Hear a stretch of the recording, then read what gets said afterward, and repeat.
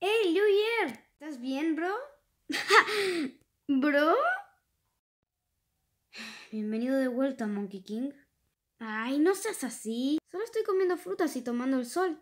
Entrené duro para esto. No era para convertirte en el más fuerte. No, eh, en realidad sí, pero eso no es lo más importante. El punto es que no nos tenemos que preocupar por otra cosa más.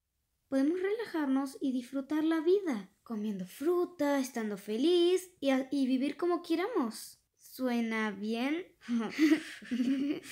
ok, ok. Ya come tu durazno. ¿No quieres intentar? ¿Por qué él quería seguir siendo más fuerte? obviamente era suficientemente fuerte, nadie lo podía competir. Wukong nunca pensó así. Él siempre pensó sentir que tenía que ser más fuerte para vivir más tiempo. Él realmente estaba asustado por morir, así que escribió su nombre en el libro de la vida y la muerte. Pero él no lo pensó mucho.